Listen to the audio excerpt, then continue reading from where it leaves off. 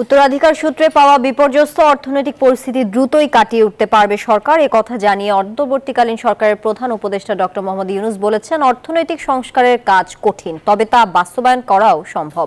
International chamber of commerce বাংলাদেশের নেতৃবৃন্দ প্রধান উপদেষ্টার সঙ্গে দেখা করতে এলে তিনি এ কথা বলেন। এ সময় অর্থনীতিতে স্থিতিশীলতা ফিরিয়ে আনতে সংস্কার উদ্যোগ নিতে নোবেল জয়ী অর্থনীতিবিদ ডক্টর ইউনুসকে আহ্বান জানান চেম্বার নেতৃবৃন্দ।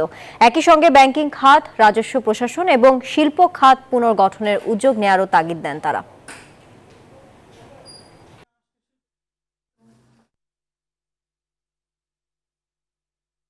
দুর্দান্ত সব উপাদানে তৈরি ঝাঁঝালো স্বাদের প্রাণ ঝালমুড়ি। এই ঝাঁজ, সেই ঝাঁজ।